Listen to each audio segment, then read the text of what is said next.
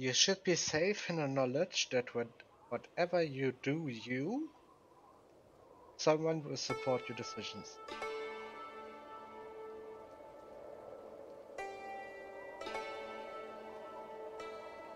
This is kinda fitting to have a typo in this screen was the regarding the king's influence which is no one knows and that it isn't written anywhere. The king's influence I've made a video already detailing that the, saying that the king is the most important figure you have obviously. And the influence that is so impactful and you you don't even realize what's happening there are so many things which act or part of king's influence and you think there's random shit happening all over and you have no influence over it.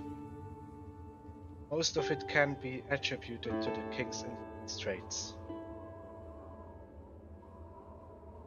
It's like this stat is inherently bugged. It's bugged.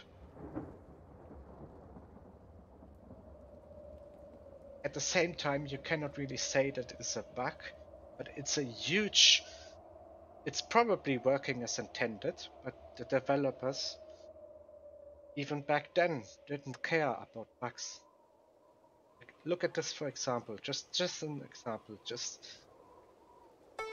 let that soak into your brain only factions which are left on this map is the Pope and the English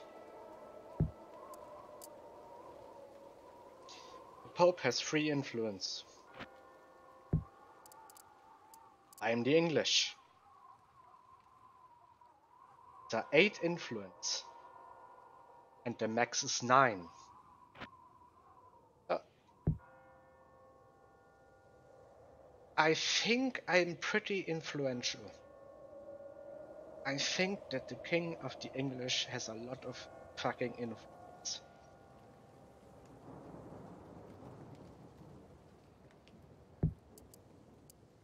Where's the, the ninth star? Like, I'm even surprised that I have this many, because, like I said, the influ the king's influence stat is inherent inherently bugged. This causes all sorts of problems. If you've watched me, or watched this campaign, see, saw constant loyalty drops out of nowhere. And look!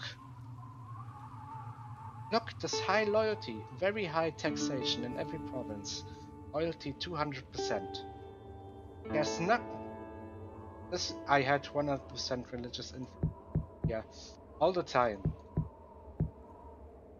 And they were struggling with the loyalty.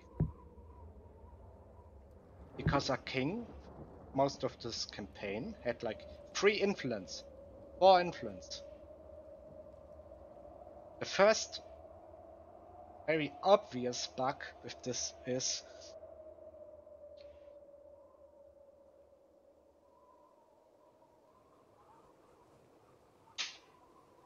it doesn't take into account the regions you conquered in the previous with the previous king.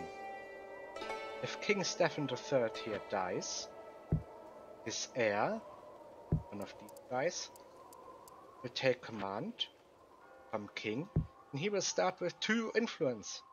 Doesn't matter if he have conquered the whole world or not. This is what causes the most problems, because when your king dies and you get a new king, the only thing you can do to increase your influence is conquer new regions. So you should always be conquering new regions. This does not fit very well with my playstyle. So I'm always sitting around the low influence king. This causes all sorts of problems. Most of the time, it's causing loyalty issues in your provinces.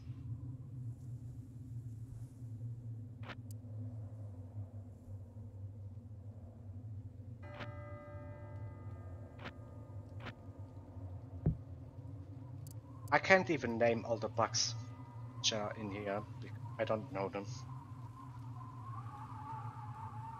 This I know.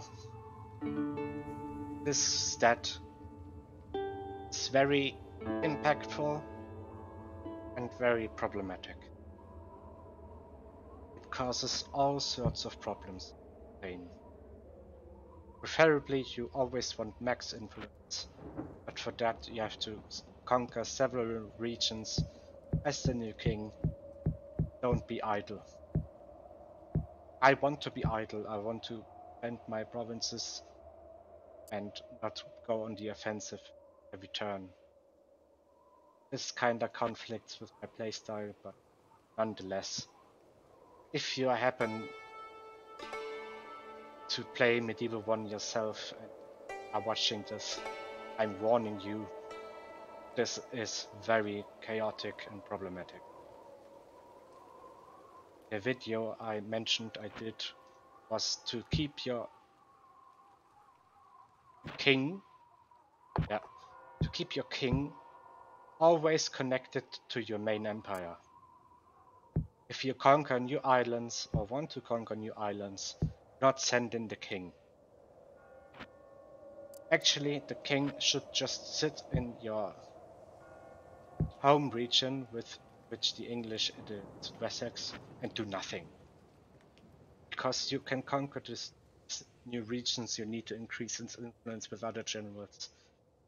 So I advise you to keep your king in your capital unless you have like an 8 star king or something like that. If you have an 8 star king then by all means use him as a general. But in general, it is advised to keep him in capital, nothing with him.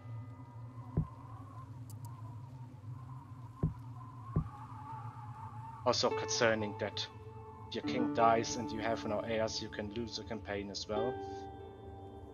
Just keep him in your capital and do nothing with him. I kinda want to use him because it looks cool that this massive army is leading it's led by the king himself, but just keeping capital is good.